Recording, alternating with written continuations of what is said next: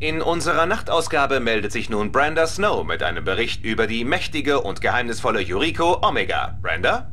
Danke, Ted. Viele von uns kennen die Geschichten von Yuriko Omega, der mysteriösen Japanerin mit den furchterregenden Psy-Kräften. Alliierte Soldaten hatten während des Krieges berichtet, sie hätte ganze Bataillone vernichtet, allein durch die Kraft ihrer Gedanken. Wer ist diese junge Frau? Woher ist sie gekommen? Und wie entfalteten sich diese fürchterlichen und fantastischen Fähigkeiten? Yurikos Geschichte ist nebulös.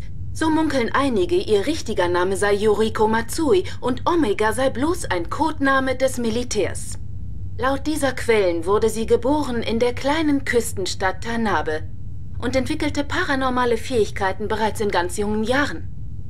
In der Schule wurde sie von Mitschülern gemieden wegen ihrer großartigen Fähigkeiten. Als die Regierung von ihren Talenten hörte, wurde sie ins Shiro Psionik Zentrum gebracht unter der Leitung dieses Mannes.